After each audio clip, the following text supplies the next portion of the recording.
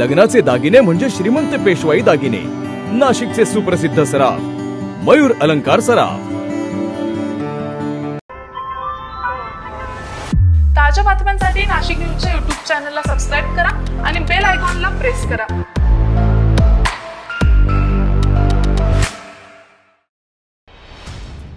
जीवघेणा नायलॉन मांच्या विक्री आणि तो मांच्या खरेदी करणाऱ्या दोघांवरही मोक्काअंतर्गत कारवाई करण्यात यावी असं निवेदन राष्ट्रवादी युवक काँग्रेसचे शहराध्यक्ष अंबादास खैरे यांनी नाशिक पोलीस आयुक्त अंकुश शिंदे यांना दिलेला आहे.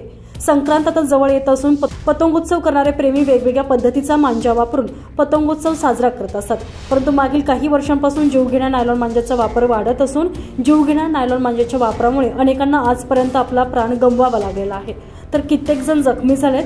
न्यायालयाचा आदेश जुगारून बंदी असताना देखील नायलॉन मांजेची विक्री नाशिक शहरात सर्रासपणे होती आहे. नाशिक शहरात नायलॉन मांजेचा वापर वाढल्याने अनेक ठिकाणी या जीवघेण्या मांजेची सर्रास विक्री होताना पाहावयास मिळत आहे याबाबत अनेक तक्रारी प्राप्त होत असताना देखील प्रशासन ठोस पाऊल उचलताना दिसत नाही. मांजामुळे अनेकांच्या जीवावर आतापर्यंत बेतलेला आहे. धारदार नायलॉन मांजामुळे अनेकांना गंभीर दुखापत झाल्याचं निदर्शनात येत असलं तरी संक्रांतीच्या काळात हजारो पक्षी नायलॉन मांजामुळे पंख आणि मान कापून मृत पावत आहेत. तर दुचाकी धारकांना यामुळे अपंगत्व आलं आहे. बाजारात नायलॉन मांजा विरोधात धाड सत्र राबवलं जातं मात्र तरी देखील नायलॉन मांजा विक्री सर्रासपणे सुरूच आहे.